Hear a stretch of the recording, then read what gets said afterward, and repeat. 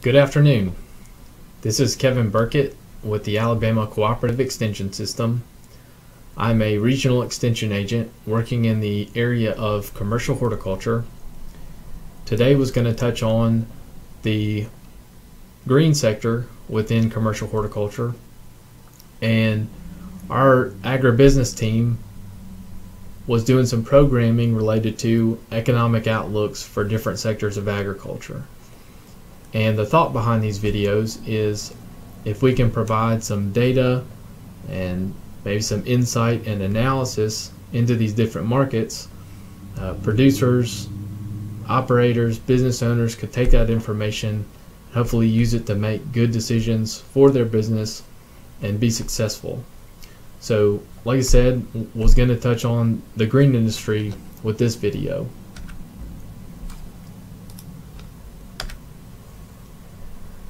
So when you say green industry, some people may have a pretty good idea of what that means, but just to touch on it briefly, it would be the landscape services, the ornamental, floriculture, and turf production that happens within the state. So if we think about all of the products and the services and the people and the activities that make um, those things that make our yards and our landscapes and our businesses and communities look nice, those are the things that make up our green industry.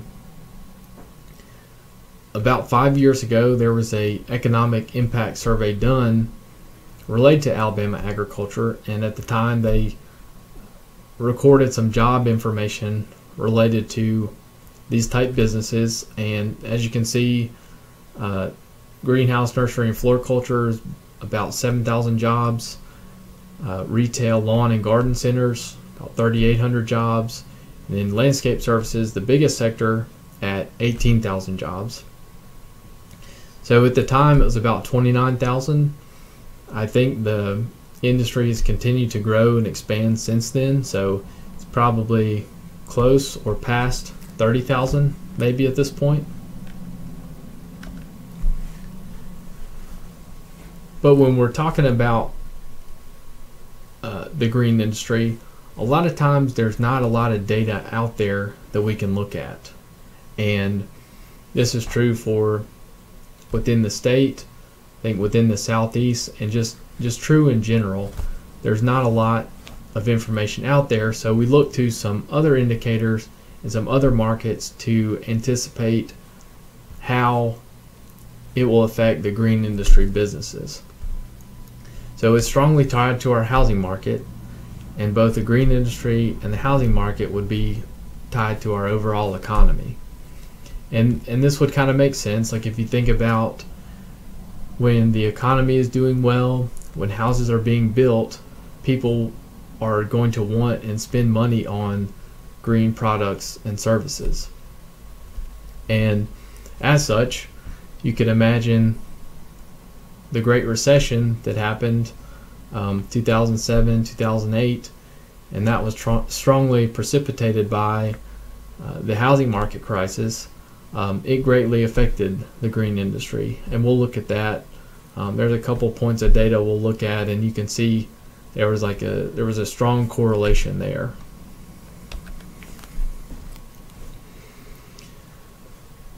So to look at the housing market a little bit, they're they have what they call the housing market index, and this is where they go out and they survey uh, home builders, and they say what is your business outlook currently, and maybe what do you anticipate happening within the next six months or so. Are you anticipating new business, new customers? So anything over the level of 50 is considered a positive outlook. And since about 2014, it has it has been above that level and has continued kind of on an upward uh, path of of growth, you might say. Um, you'll notice maybe at the end of 2018 there was a there was a downward trend. I did see a graph the other day that indicated it had uh, reversed and was more on an uptick. So but overall it's still above the level of 50 indicating a positive outlook and home sales have increased nationally within the last couple years. And I know within Alabama, home sales were up 7% at the end of 2018 over where they were in 2017. So, um, so that's good. Uh, Dr. Charlie Hall is someone I talked to to get some information and maybe some insight into this area. He does a lot of work on the economics of the green industry. He provided this slide and a number of uh, some graphs and data for this presentation. So uh, wanted to make note of that and I would encourage you if you're if you have continued continued interest in this area um, visit his website and maybe keep track of some of the presentations and publications he would put out during the year.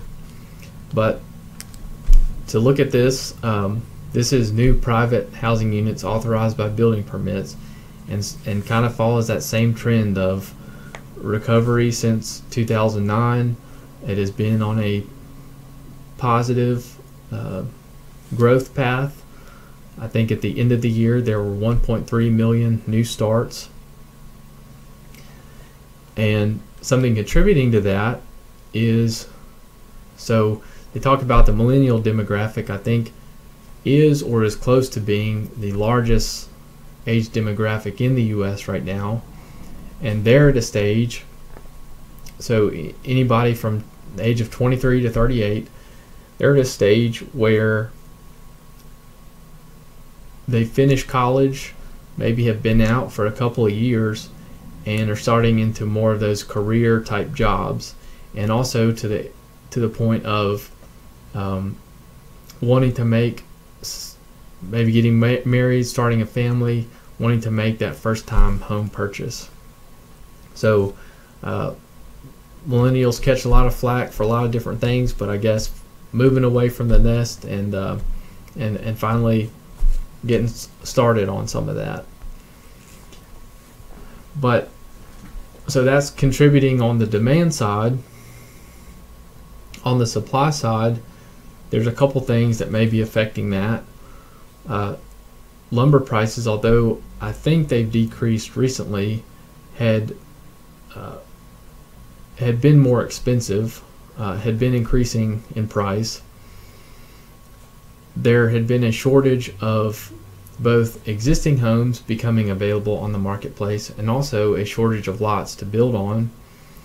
And in the same way that we talk about labor in agriculture, uh, construction and home builders had have been dealing with a shortage of labor as well. So there are a couple factors that are affecting the supply side of the housing market. And with that, you know, you could imagine, well, if I can't purchase a new home uh, or move into a new home, maybe I'll just remodel what I have. So remodels are up 7%. And with a stronger demand and a little bit lower supply side, we're seeing the price kind of continue to increase with these homes.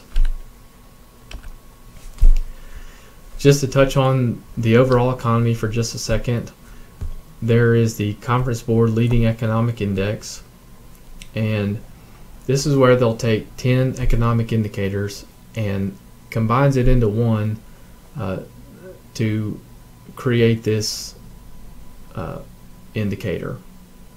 So it's intended to reflect what might happen to the economy, say, in the next six or eight or so months. And so if it was on a positive upward trend, that would indicate like an expansion or growth period. If it was on a, a downtick, that would indicate a retraction, recessionary type period.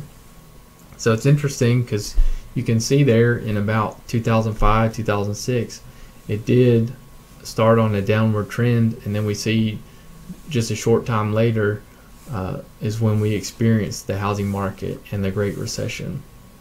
So uh, there have been times where it turned down, maybe to indicate a recession, and that did not actually occur. But um, there is some accuracy to this graph and, and being able to predict certain things. But as of now, uh, you can see it's been on a positive upward trend, so indicating the economy has a positive outlook. I would encourage you with this graph and maybe the two or three that we looked at previously, you know, at the end of this month, maybe in the next month or two, go back and look at those and see did it flatten out?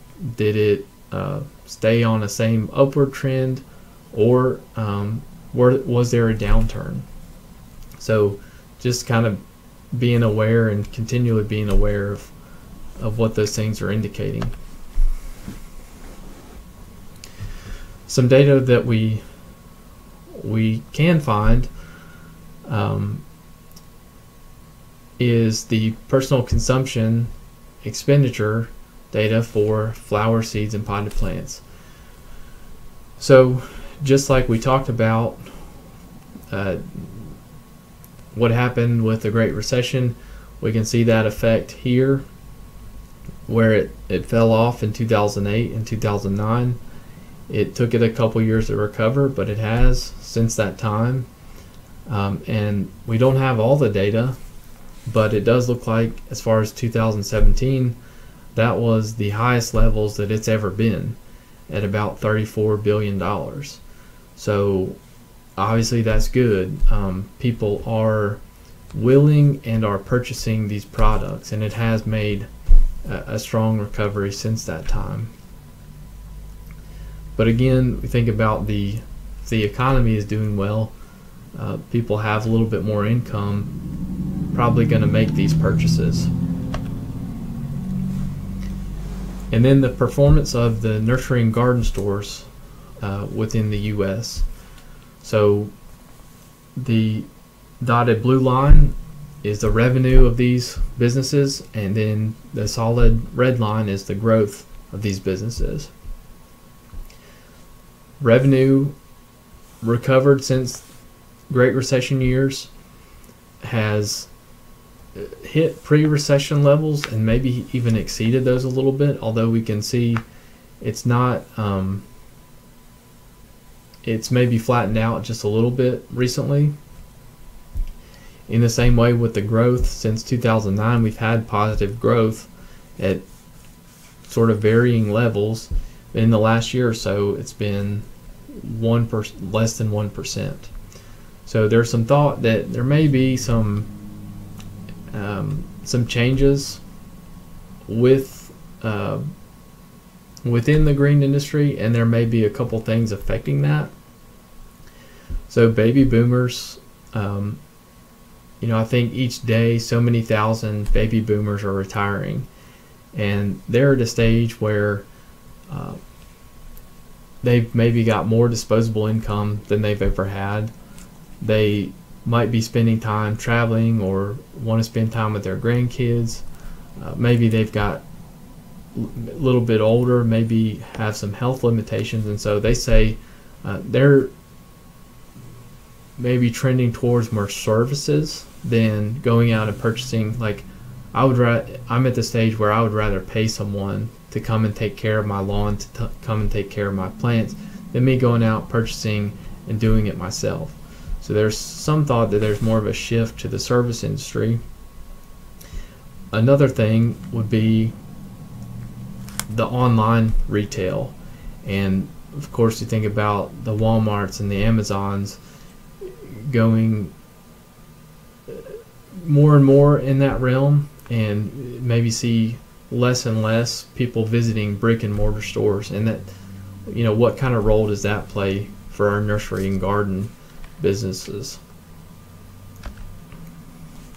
So, positives overall, the economy has been good. I, I think we kind of know that. Uh, we've had a stronger housing market. You might like to see the supply side just a little bit stronger. Obviously, it's good indicator that people are purchasing the green products. Um, like we said, maybe have that disposable income and they're going out and wanting to buy these things. And then trend, trends like urban green spaces. So, a couple of examples would be like New York City with their High Line. I think in Atlanta it's the Beltline, but areas where they've incorporated green products like into these communities and into these areas for the benefit of you know they say we want a nice area where our employees or our residents can go spend some time uh, and not just if you go downtown it's going to be all concrete and all buildings but we want to have uh, some nice areas where people can enjoy like flowers and plants in a nicely landscaped area so the more and more those things gain traction, obviously that would be a positive thing for this industry. So just like we talked about positives, we want to point out maybe some some potential obstacles as well. so up until just recently, um, fuel had been increasing, although that's kind of slowed and had maybe even uh, become cheaper recently. But the fuel was contributing a little bit to the additional freight costs. Um, but with freight, they're also having a electronic logging mandate that they're having to comply with, and I think that's adding some additional costs, as well as, uh, again, we talk about labor. With freight, I think they say you know there's a shortage of about 100,000 truck drivers now and that's also contributing to some additional costs. So a lot of these products, they're things that aren't exactly local. They're going to have to travel, say, a little bit, at least maybe within the state, if not within a region or nationally.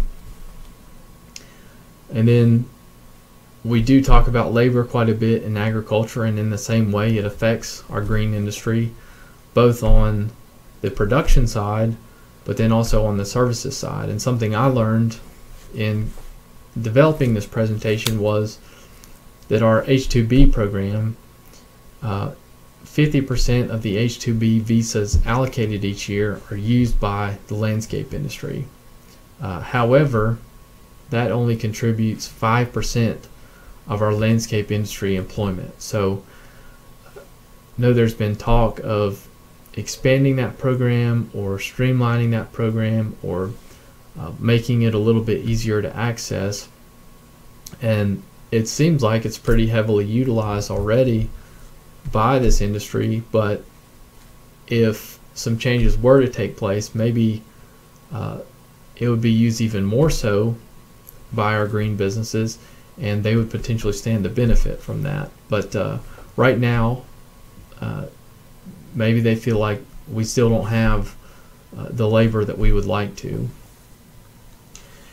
And then natural disasters. Um, I know with, with a number of our greenhouse and nursery businesses, they're in the lower half of the state.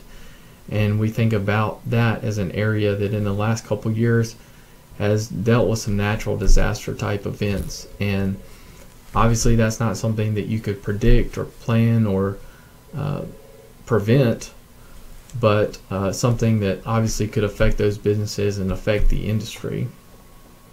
On the flip side, if they were in an area where they were less affected or could recover quickly, possibly they would stand to benefit in that they would be providing the products and the services that communities and businesses and homes would want when they're going through, say, a rebuild so um, just something again that you, you can't really control it any sort of way, but obviously something that could have an effect on the industry. There's an economics professor at Virginia Tech, Dr. David Kohl, that you know he likes to say that it's not the tough economic years that can get farms into financial difficulty, but it's the good years. And I think his meaning behind that is when things are going well, we might have a tendency to relax and feel like, well, uh, things are going good. We don't really have a lot to worry about right now. Um, and it may be a, a time where we could invest or expand our business, but we just encourage like smart and strategic investment. And so, say, well, things are going well. Um, you know, maybe we just hold a little bit of cash back into the business because we understand that in two or three years it may be that there is some kind of downturn in the economy and we want to like pad our rainy day fund a little bit so just being aware um, and in general if the business could respond to the what's happening say with the housing market what's happening with the overall economy maybe the more resilient that business would be. So just is there a plan like in the next six months if we continued on kind of a growth or expansion phase is there a plan for that? Or vice versa if there was some kind of a downturn or recession in the economy does the business have a plan in place for that as well and something in talking with dr charlie hall he mentioned that a lot of times he'll bring it up or encourage producers to think about is focus on some of the functional benefits of what you're providing. So you think about some things like we hear about pollinators and bee health um, a lot recently. And so when you're selling some of these products and services, can you incorporate that and say, hey, when you use these things, you're contributing to a pollinator friendly habitat or uh, it's contributing to your natural resources and reducing erosion. Uh, it contributes to people's overall health and emotional well-being and things like that. Things to where if there's a downturn in the, in the economy, they don't feel like, well, I'm just purchasing a pretty plant or a pretty flower, but I'm actually getting some kind of benefit out of having these things. wanted to touch on this. So we talked a lot in this presentation about labor and some of the issues with that. So this is a uh, it's it's a neat thing. It's a partnership between Extension, Auburn Horticulture, the Green Industry Training Center, the Alabama Na Nursery and Landscape Association, and the Alabama Turfgrass Association. But if you think about some job sites like Indeed and LinkedIn that try to match up both employees and employers. Uh, like an employee can go post their information, and employers can post potential job openings. Uh, this website is along those lines, but specifically related to the green industry within Alabama. So, would encourage you to check that out if you have interest.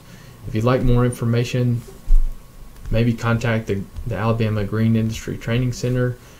John Neighbors is there at the center. He, uh, colleague of Extension, um, I'm sure would be glad to talk to you and would just encourage you to reach out there. Just wanted to acknowledge some of the sources and the people that did provide information for this. So Dr. Hall at Texas A&M, uh, advisor perspectives, provided a couple graphs. John at the Green Industry Training Center, Dr. Hayk at University of Florida, the economic survey that was done in Alabama, and then a monthly report by Acre Research.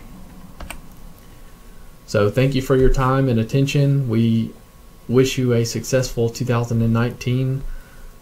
If you have any questions or comments about this presentation, there's my contact information. And, and as always, um, Extension is here to be a resource for growers and producers and want to be a help in any way we can. So thanks again and hope you have a successful year.